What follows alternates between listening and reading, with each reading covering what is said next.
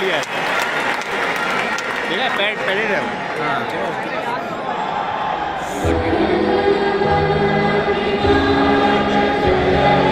Bharat Bhagya Punjab Sindh